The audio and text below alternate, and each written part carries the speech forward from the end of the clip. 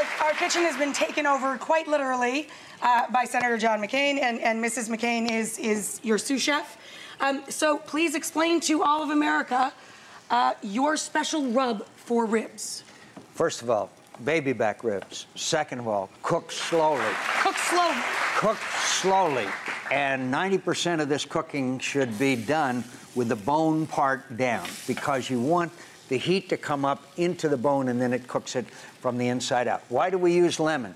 Because if you squeeze lemon on it while you're cooking it, it takes some of the little bit of a taste out of it that sometimes you know you get. Uh -huh. The lemon taste takes the taste out, but it also keeps it moist. You don't want your ribs to dry as you cook them for Especially a long period with the rub. of time. Yes, and so lemon, you do the squeeze because the rub will do that. This rub is garlic powder, salt and pepper all mixed together, and I put it into a shaker so that I, I put it on it. I keep putting it on while it's cooking, but a lot of times I'll put that rub on a long time ahead of time, like 8, 10, 12 hours, sometimes a day ahead of time, and then you get the flavor into the ribs itself. Cook slowly. With chicken, cut the chicken in half and put it bone down, leave it there. Let the low heat, let the heat come up into the bone and cook it again from the inside yes, out.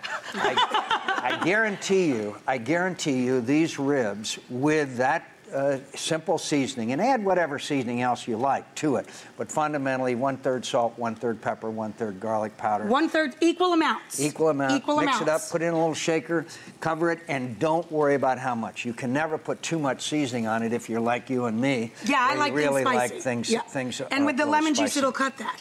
It'll cut a lot of the is, flavor. Is he always this take charge? Can you get him near a grill? Yeah, yeah, absolutely.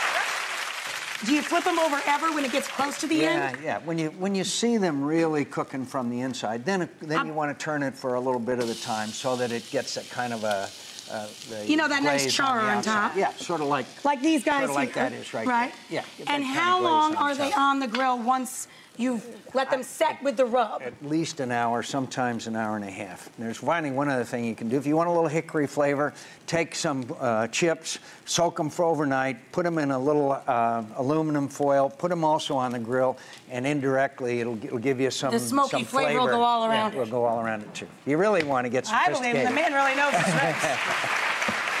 Cindy, you have any specialties that you bring out when the ribs come off? You know, uh, you know we just I got do? some corn and some slaw going the, for you the guys. Corn, we like because our, our kids like to eat fresh things, so corn is one of them. The slaw is a great idea. I mean, we we also walk, or John does walk vegetables on the grill as well. A big take a big onion, put a slab of lemon on it, stick it in foil, grill the onion, peel it back. It's wonderful. It's really, it's all corn, fresh stuff. Take the, the take the silk out, leave the husk. Yeah. You can uh, put it right on the grill on and the grill, cook the yeah. corn. Right well, you said you could do a whole nutritious meal right on the grill, and you proved it.